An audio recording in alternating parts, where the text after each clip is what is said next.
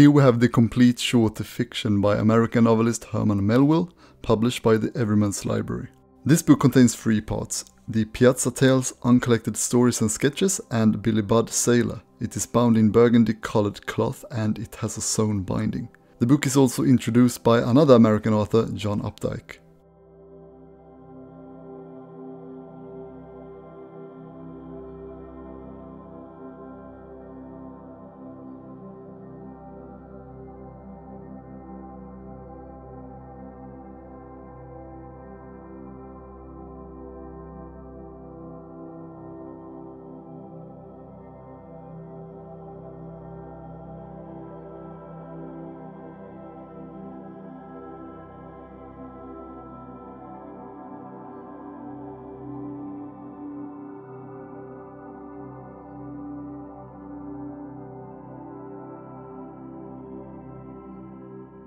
The book opens up fairly well, not perfectly, but it's also not too tight. The paper is smooth and cream colored acid free pH neutral, standard Everyman's Library stock. And the text size is medium. This book is set in Bembo.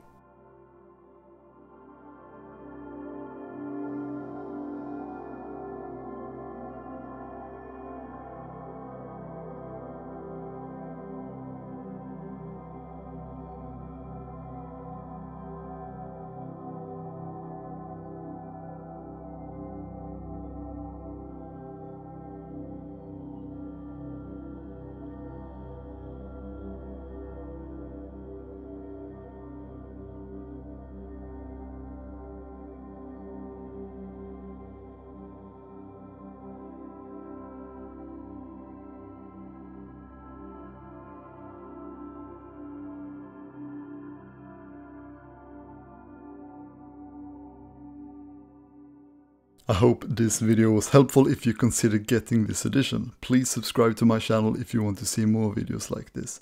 Thank you for watching.